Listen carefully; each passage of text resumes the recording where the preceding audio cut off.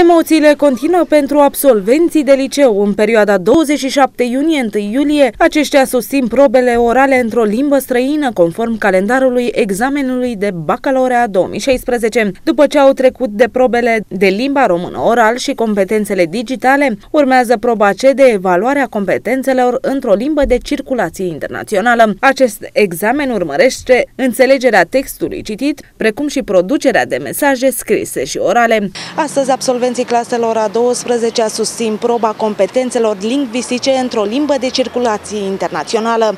La această probă la Giurgiu sunt înscriși peste 1200 de elevi.